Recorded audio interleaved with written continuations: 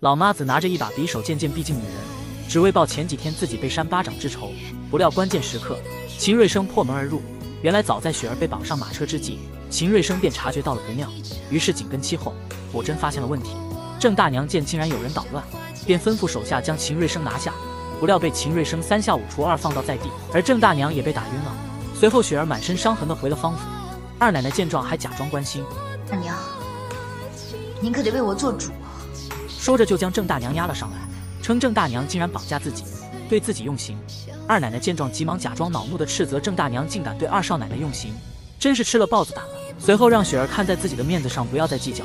没想雪儿并不吃这一套，她让二奶奶必须将郑大娘送官法办。在众人面前，二奶奶只能忍痛将郑大娘送官。殊不知隔天她便买通官府，将郑大娘放了出来，还给了她一些钱，让她回家养老。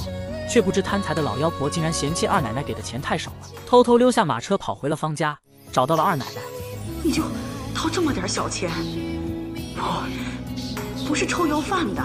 二奶奶警告她不要太过分。随后郑大娘直接狮子大开口索要一千元，却不知就因为她的贪婪，让二奶奶彻底爆发了。她趁郑大娘不注意，用刀将她杀害了。这一刻，二奶奶将这一切又都算在了雪儿的头上，发誓自己一定要让她付出惨痛的代价。隔天，二奶奶便找到自己的老相好二老爷。和他合谋怎么除掉雪儿，最终两个狼狈为奸的人终于想到了一个主意。二奶奶称自己年龄太大了，力不从心了，想将家里的事业都交给雪儿来管理。但雪儿在接管家业之前，必须要去寺庙祈福才可以。虽然知道二奶奶肯定又有什么阴谋，但雪儿还是觉得顺其自然。果然不出所料，在雪儿去寺庙祈福的路上，就遇上了劫匪。然而这些劫匪却明显是有备而来的，典型的要钱不要命。就在关键时刻，消失许久的方子恒从天而降，将雪儿救了下来。